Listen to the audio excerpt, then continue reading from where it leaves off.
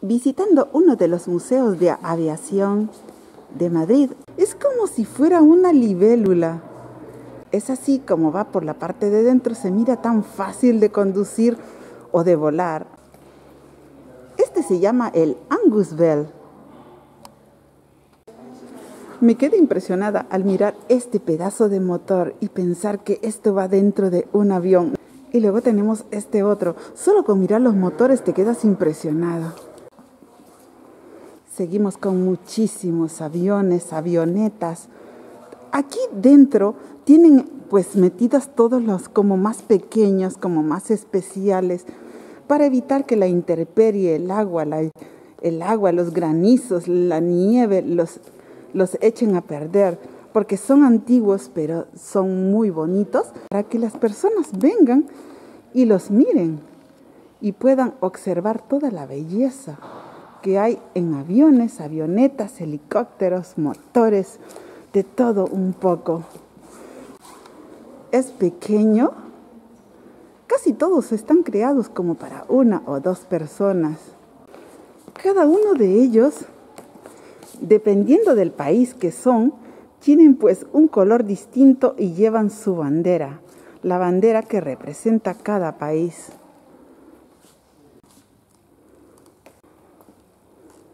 Aquí mi marido haciéndose una foto con uno de los aviones que le gustan mucho.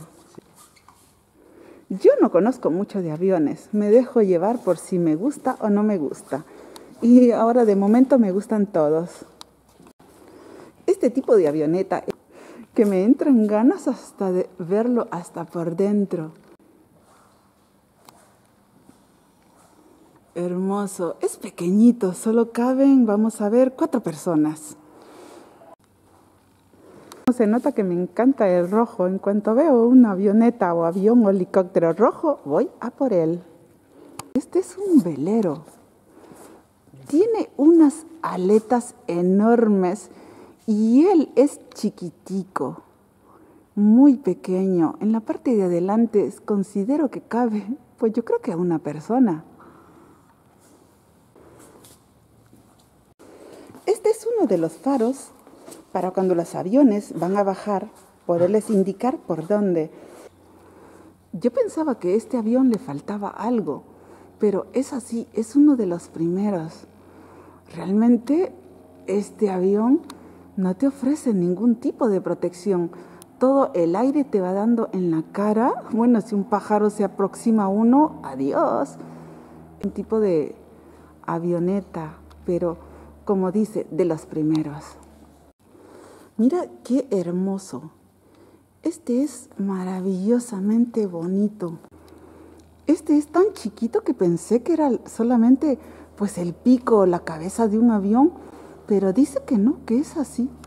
Es así de pequeñito. Y luego tenemos esta avioneta de color beige que también me gusta muchísimo. Tengo aquí también un marido bueno, tienes este cochecito que me he enamorado de él. Tiene hélices. Esto es realmente un coche. No vuela, porque no tiene la potencia para poder volar, pero desde luego llama la atención y todas las miradas. Este es un proyecto. Este es un autogiro, una ambulancia. Es solamente un proyecto. Este sí, ya está terminado. Bueno, terminado, pero es antiguo siempre que vengo me enamoro de cada uno de estos para dos personas. Si te gusta la aeronáutica, hoy es tu día.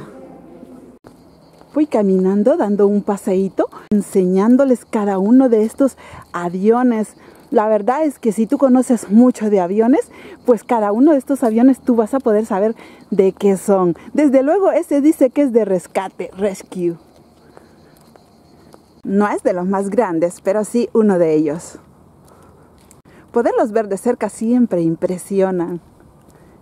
Y como ves, esto también es del museo. Este no está funcionando.